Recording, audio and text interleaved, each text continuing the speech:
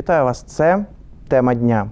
4 березня у Херсоні розпочався тиждень фем-активізму, в рамках якого у місті проходять лекції, майстер-класи та художні виставки. Також в рамках цього тижня, 8 березня, у Херсоні відбудеться феміністичний марш. Детальніше про те, що таке фем-активізм, які події херсонці зможуть відвідати в рамках тижня фем-активізму, та яка головна мета феміністичного маршу у Херсоні, поговоримо з гостями нашої студії. Сьогодні це голова громадської організації Херсонський обласний центр Успішна жінка Анжела Литвиненко, а також активістка благодійної організації інша Марина Усманова. Доброго вечора. Добрий вечір. Пані Марино, перше запитання до вас. От а, що таке е, фем-активізм, от е, в, е, в рамках якого відбувається цей тиждень? І це якась а, окрема течія, чи це просто от, ну, абстрактне якесь поняття? Ну, фем-активизм – это активизм, направленный на продвижение прав женщин, вот, на продвижение феминистической повестки в широком смысле этого слова. То есть, в принципе, фем-активизм – это и марши, и акции, и, и постинг в соцсетях, и написание текстов, написание трудов, каких-то книг, это и, и искусство, ну, активизм очень широкое Тобто понятие. будь-яка діяльність спрямована от на поширення феміністичних ідей якихось. Да, да, да, точно так же, как и любой другой активизм.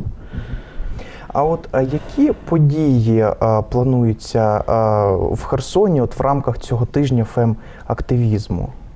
Ну, уже были события такие, как э, были ряд воркшопов, была лекция о феминизме, собственно, в нашей организации. Ну, одно из самых ярких событий, о которых мне хотелось бы сказать, это выставка «Цена кохання», которая будет э, на Спартаковском 17. Это такое вы- выставочное помещение, э, ну, новое. В нем еще не проводилась ни одна выставка никогда.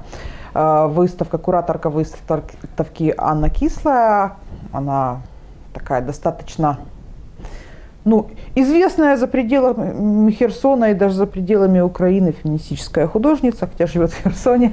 Вот. И в нашей выставке принимают участие 12 художниц, феминисток с разных городов Украины.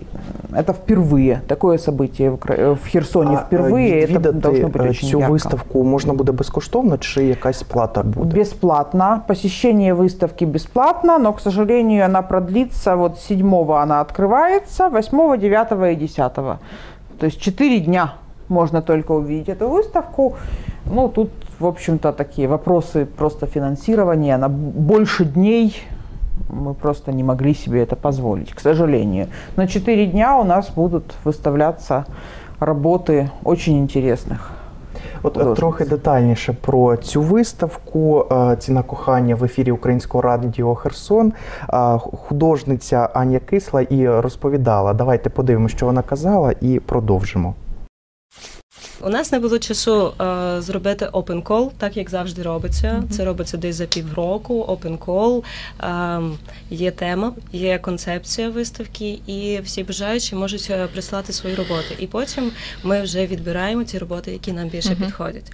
У нас не було на це часу, звичайно. Тому. Е, я вирішила е, подивитися всі роботи своїх знайомих і незнайомих художниць, е, які могли б підійти нам за тематикою. Адже насправді е, на сьогоднішній день в Україні дуже мало художниць, які працюють саме з е, темами. Свободи і вибору жінки. Та зараз це вже актуальніше, і це мене дуже тішить. Адже я побачила дуже класних багато робіт. Але в нас невелике приміщення, то необхідно було обирати ті роботи, які найкраще підійшли. От, е, тобто, наскільки я розумію, е, виставка була, ну скажімо так, спонтанною трохи навіть для е, Херсона. Ну, как спонтанной? В общем-то, я не очень, ну, я не очень тот человек, кото- которому органично устраивать выставки, то есть я не художница, не кураторка, я не очень знаю, как это делается, вот, но я обратилась к Ане Кислой, вроде бы обратилась как для меня заранее, но как я теперь поняла, что нужно было это делать раньше, Вот, поэтому, да, сроки были маленькие. Обратилась я с запросом «давай сделаем что-нибудь», потому что я увидела ее работы, которые она выставляла на феминале большой выставки международного феминистического искусства в, Биш в Бишкеке, вот, и они там были зацензурированы местным правительством. Вот, я их увидела, мне очень понравилось. Я написала и говорю, давай что-нибудь делать в Херсоне. А, вот. Ну, она откликнулась, вот, и мы сделали. И я думаю, что это будет классно, несмотря на то, что это действительно для такого проекта было сделано в очень сжатые сроки. Ну, окрім виставок, е, лекцій, у Херсоні планується і феміністичний марш. І пані Анжело, я знаю, що ваша організація теж буде приймати в ньому участь. А яка мета от в цьому році феміністичного маршу? Е, ну, відомий факт, що одним із найпоширеніших видів дискримінації, яким е, підвергаються наші жінки, це домашнє насильство. Щороку е, майже 600 жінок страждає, тобто втрачає життя своє. І фактично понад 50% зазнавали домашнього насильства в своїх власних родинах. І е, ми виходимо з метою ратифікації, тобто вимоги ратифікувати Стамбульську конвенцію, тому що якраз таки Україна є підписантом цього міжнародного документу, і ми вважаємо, що е, вже на часі давно ратифікувати. Один з перших маршів 4 роки тому якраз організовувався трьома організаціями: це і успішна жінка, і інша Марина Усманової, Оля Жукова, де єдналась нова генерація. Ми втрьох організували перший марш за ратифікацію Стамбульської конвенції, оскільки це питання залишається ще е, на порядку денному. Ми вкотре вимагаємо ратифікувати. На сьогоднішній день е, є певні здобутки в захисті прав жінок від домашнього насильства. Починається розбудова е, мережі е, послуг. Кожна жінка і її дитина мають бути захищені від домашнього насильства. Є певні зміни і. Цьогоріч навіть відкрита національна гаряча лінія 1547, її відкриття широко поінформовано було за допомогою дружини е, президента України. Олени Зеленської, але тим не менш, все, все все, рівно залишається багато викликів. І ось е, це одне із зобов'язань міжнародних нашої держави. Ми маємо, щоб воно було виконано. А от е, щодо ратифікації, що все ж таки, на вашу думку, заважає ратифікувати цю конвенцію? Ну мені здається, що більш за все заважають певні стереотипи і е, абсолютно комфортна. Е, середовище того, що жінку мають експлуатувати. Е, тому що, якщо подивитись чесно в очі по завантаженості жінок, то ми бачимо, що жінка працює фактично в дві зміни. Вона має, якщо вона працююча, вона має основну роботу, але приходячи додому, вона має ще другу зміну. Вона виконує домашню безоплатну роботу. І, е, і е, в деяких родинах все ж таки є паритет виконання домашніх домашніх видів робот. А, наприклад, в патріархальному суспільстві, яке на сьогоднішній день залишається Україна, дуже зручно експлуатувати жінку і мати ось цей от внесок її безоплатної роботи. Е, дуже часто жінці говорять, і це також є зручним, що її основна функція репродуктивна народжувати дітей. І це е, вторгнення в особистий простір кожної жінки, тому що жінка може мати дітей, а може не мати дітей. Вона може мати їх за власним бажанням і гармонійно розвивати цих дітей, але і вона має право і не народжувати цих дітей, але є ще й показники показники, коли жінка ну фізично це не може зробити внаслідок певних обставин.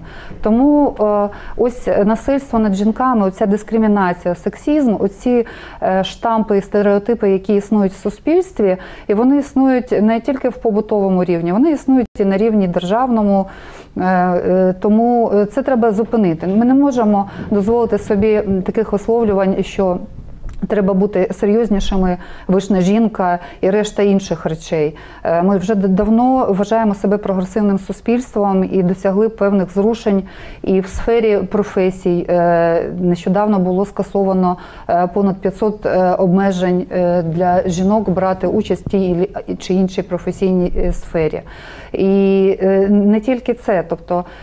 основний меседж нашого маршу феміністичного це права жінок, це права людини. І ми говоримо про те, що е, і ратифікувати Стамбульську конвенцію вже давно на часі, і що е, голос жінки має бути почутий, тому що в суспільстві половина жінок це е, є половина частини нашого суспільства. Ну, і і- як можна вирішувати вірити, питання е, стосовно жінок то- навіть більше да, Ті на сьогоднішній так, день? то жінок Так. навіть трохи більше. І якщо ми бачимо в вищих ешелонах влади, то ми бачимо, що так, ми дуже прогресивні. У нас понад 20% жінок у Верховній Раді. Але ж е, жінок та в Україні понад 50%, то мали б і на рівні прийняття рішень бути ті ж самі 50%, щоб їх дослухалося. І крім того, якщо ми говоримо взагалі про фемінізм, слово, яке дуже лякає багатьох, тому що в пам'яті залишилось е, те, що е, жінки-феміністки це ті, які ходять з оголеними грудями і просто проти чогось протестують. Доречно це чи недоречно. Але насправді перша хвиля фемінізму була понад 110 років тому, е, коли. Абсолютно освічені е, жінки виступили з, за те, щоб мати виборче право. І е, цьогоріч буде 110 І, е, років я знаю, виборчого можливість права. Так. розпоряджатися власним Так. майном і майном Так, родини. і там і майно, і, і майнові питання. Я не думаю, що хтось з чоловіків, хто народив донечку, хоче, щоб цю е, дитину в подальшому дискримінували, ображали, щоб вона була позбавлена якихось прав, щоб стосовно неї відбувались ганебні якісь жарти, і, і в подальшому хтось мав собі право її там побити, принизити або ще щось.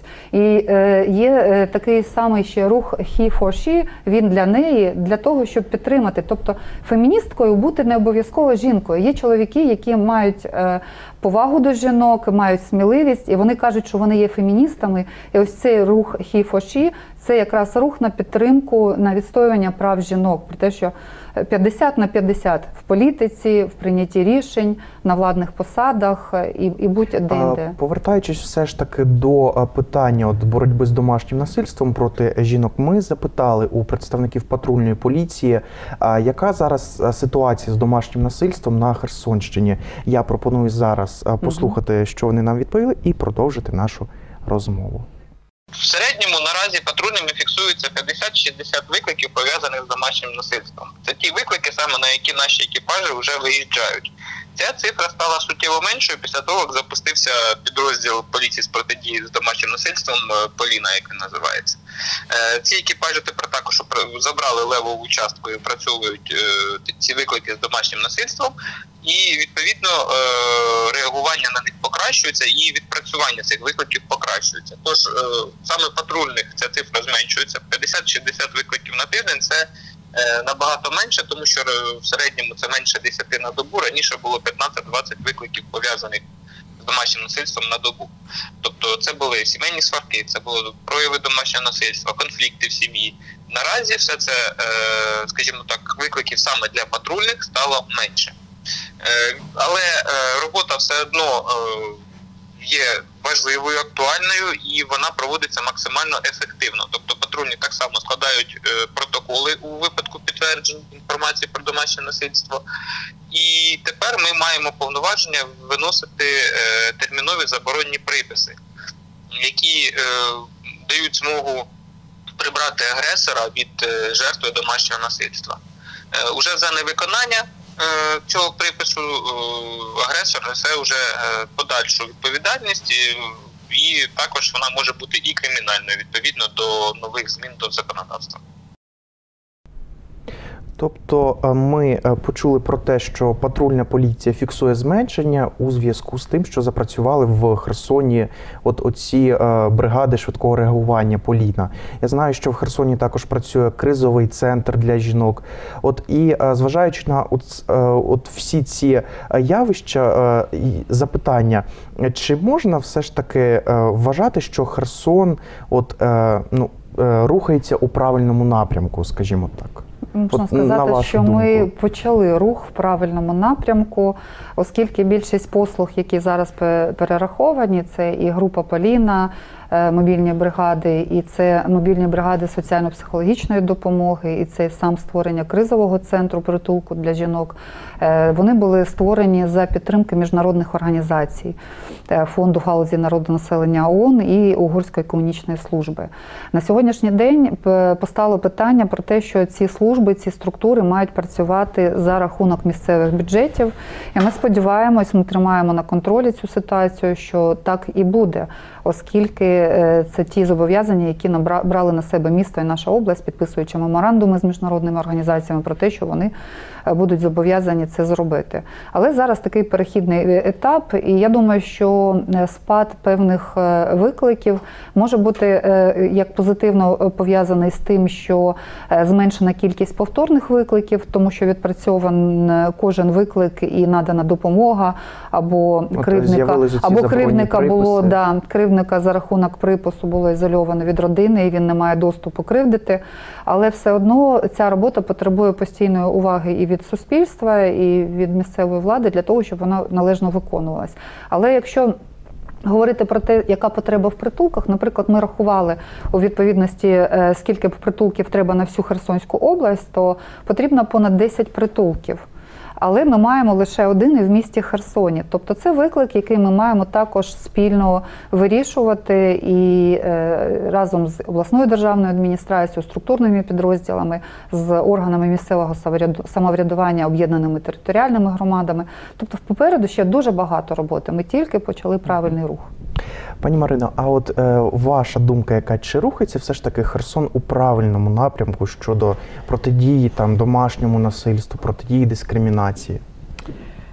Я думаю, что да, как, как и Анжела, я думаю, что это движение было начато, но я вижу, что ему огромное и противодействие. А п- противодействие ему огромно с совершенно разных сторон, начиная от м, начиная от патриархального уклада в семьях и заканчивая властью. Противодействие есть. Противодействие очень сильное. То есть каждый раз, когда Каждый раз, когда мы просим поддержки власти, нам приходится ее требовать, нам приходится ее добиваться, и мы видим, что есть другие силы, которые добиваются того, чтобы мы этой поддержки не получили. Я думаю, что правильно сказать о том, что есть движение вперед, есть движение в правильную сторону, но есть противодействие, которое, когда, знаете, как когда приходится для, для того, чтобы стоять на месте, нужно очень быстро бежать, а для того, чтобы двигаться вперед, нужно бежать еще быстрее. Ну, Цікава приблизно думка. так, да. І я зголошую, що це філософське питання. Будь-яка дія завжди натикається На на, протидію. протидію. І це абсолютно зрозуміло. Старе не хоче віддавати свої позиції. Е, Дуже зручно триматися за це. Е, Ми можемо сказати, що так, певний спротив є. Я підтверджую е, слова Марини, але все ж таки є і позитивні зрушення ну, на місцевому рівні. Е, якимось чином все ж таки сприяння ми отримуємо від органів влади, поліція йде з нами на співпрацю. Але ж е, ну хотілося б, щоб все відбувалося набагато легше, приємніше і.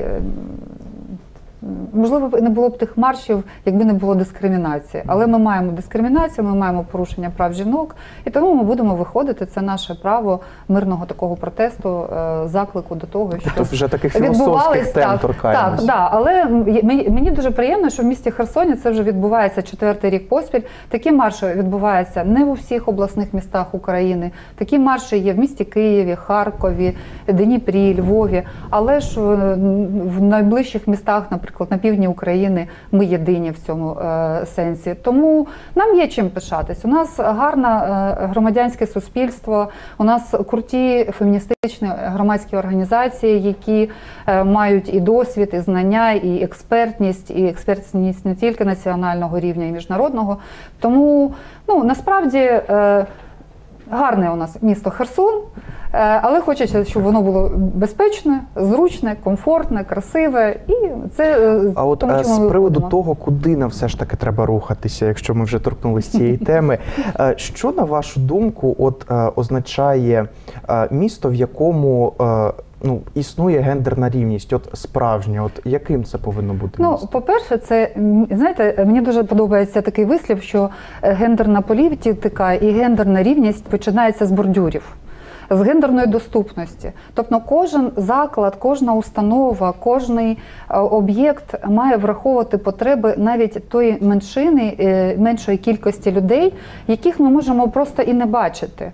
Е, Наприклад, е, чи всюди у нас є е, зручні пандуси? Ні, не всюди. Навіть е, установах, які надають соціальні послуги, наприклад, для того, щоб зареєструвати дитину або отримати там допомогу на, на, е, на цю дитину, мама з візочком має е, стояти на, перед цією установою і вирішувати, чи, є, чи їй брати цей візочок і рухатись по сходинах всередину, всередину цього, е, цієї установи, чи їй залишити цей візочок і сплячу дитину взяти і зайти в приміщення, де купа людей. Тобто, все одно вирі- є багато питань. Якщо ми говоримо про людей з інвалідністю, маломобільних, да, ми їх також дуже мало бачимо. Є соціальне таксі, але воно має. Е, е, Певні обмеження в кількості викликів, в кількості наданих послуг, і ми цих людей не бачимо, але це не значить, що їх немає. Вони для них недоступно бути поруч з нами. Ми дискримінуємо їх право бути в кіноконцертних залах, в галереях, в е, магазинах, в якихось клубах нічних, в барах. Ми дискримінуємо Тобто треба цих людей. з Це гендерна того, доступність. що Це, це перше, це Треба. про доступність, е, це про зручність, про комфортність, про повагу до цих людей. Якщо ми говоримо про велосипедистів, у нас велика кількість людей е, рухається на велосипедах. Чи маємо ми в нашому місті, в нашій області ці велосипедні доріжки? Це гендерна політика. Це також про доступність і про безпеку, і про комфорт. Тому що більш екологічно пересуватися, звісно, на велосипеді, ніж на автомобілі. Але чи мають ці люди таку можливість? Наскільки вони захищені? Наскільки ми для них е, зробили це можливим? Е, Якщо говорити про Мам з візочками е, так само. Не всюди ця жінка, яка, наприклад, е, залишилась по догляду за дитиною, може прийти з цією дитиною, пройти з цією дитиною, якщо вона навіть гуляє. Якщо ми говоримо про громадські простори, ми розуміємо, що у нас е, старішає населення, молоді їде з міста. Наскільки місто привабливе, наскільки є е, безоплатні місця відпочинку, розваги, ось ці громадські простори, де людина може прийти і е, вільно поспілкуватися комфортно, зручно, красиво, сучасно. Тобто, от е, рухатися, наскільки е, розумію, ви пропонуєте саме в тому, щоб розвивати доступність, от не з, з е, погляду, от саме гендерної рівності, а доступності для усіх. А це ж є гендерна рівність. Гендерна рівність це не означає тільки чоловіки і жінки. Це означає врахувати вікову категорію, е, особливості здоров'я, е, особливості потреб. Тобто всі групи, гендерна політика в тому і поля- полягає, щоб побачити найменшу кількість людей і забезпечити їм можливості. Тобто рівні права і рівні можливості, те, що у нас прописано документаль... в документах і є фундаментальним, воно має бути відображено в реальності, не тільки на словах, лозунгах і, і документах. Пані Марино, а яка ваша думка з цього приводу? От що е, для вас все ж таки, от е, справді е, місто, в якому ну дійсно є гендерна? Ну, во-первых, я не думаю, что это можно решить на уровне города. Вот. От суспільство, Да. скажімо так.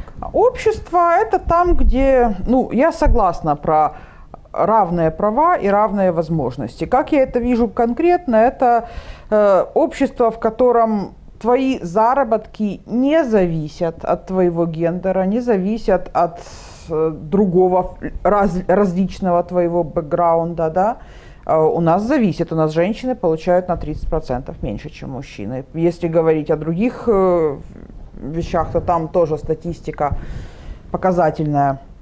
Это общество, где все в равной степени могут принять участие в принятии решений. То есть э, ситуация, когда есть парламент, в котором две группы, которые в обществе представлены 50 на 50, а в парламенте одна представлена 80%, а другая 20%. Это не гендерное равенство, простите. В принятии решений женщины участвуют гораздо меньше, чем мужчины. Вот. В обществе, где гендерное равенство, они должны равно участвовать в принятии решений. И другие группы должны участвовать в принятии решений, там, в зависимости от этнич- э- этническая составляющая, там, люди с инвалидностью и так далее. Вот. Ну, в Ну, у нас потроху вже закінчується час, і останнє запитання. Що б ви побажали нашим глядачам у от переддень міжнародного дня боротьби за права жінок, за а, міжнародний мир? От е, кілька слів, що б ви їм побажали? Я бы пожелала людям больше возможностей, больше равенства, больше понимания друг к другу, э, больше поддержки. Я бы по- по- пожелала ее особенно женщинам. Больше поддержки в том, чтобы э, делать больше, чем для нас обозначено рамками, скажем, представления традиционным. Да? Делать больше, делать смелее, быть быть смелее и достигать того, чего хочется. Пані Анжела, до вас це ж саме запитання. Що б ви побажали нашим глядачам у переддень міжнародного дня боротьби за права жінок і між- міжнародний мир? Ну, по-перше, я би побажала, щоб жінки навчились підтримувати жінок, щоб е, жіноча солідарність, культура жіночої солідарності досягла того рівня, коли жінки е, вміють об'єднатись, вирішити питання, бути єдними в своєму руху і досягати тої мети, яку вони перед собою ставлять. Якщо е, жінки цього зможуть досягнути, то зменшиться і кількість тих стереотипів. Тому що конкурувати і вважати, що жінка, е, скажімо так, е, я не дуже феміністична, я приваблива. Хто сказав, що феміністки не привабливі? Я вважаю, що ми маємо поважати одна одну і підтримувати. Дякую вам за відповіді і за участь у сьогоднішній програмі. Нагадаю, сьогодні ми говорили про тиждень фем-активізму в Херсоні. В нашій студії були голова громадської організації Херсонський обласний центр Успішна жінка Анжела Литвиненко, а також активістка благодійної організації Інша Марина Усманова. Це була тема дня. До зустрічі у наступних випусках.